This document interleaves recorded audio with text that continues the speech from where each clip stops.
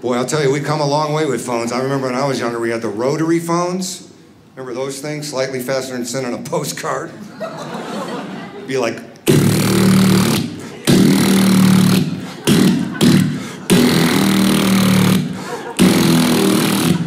get to the last number and screw up. Oh.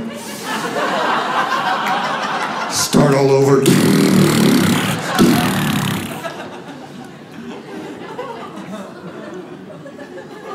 Finally, the first touch-tone phones came out. But the first touch-tone phones were kind of expensive, right? So they came out with this phone that looked like a touch-tone but simulated a rotary. What was that? You'd be like,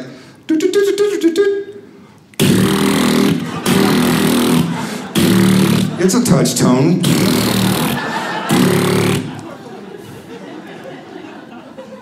Finally, the first cordless phones. Remember the first cordless phones about the size of a minivan? People be in their front yard showing them off. Hey, what's up? Just talking on my phone. no cord.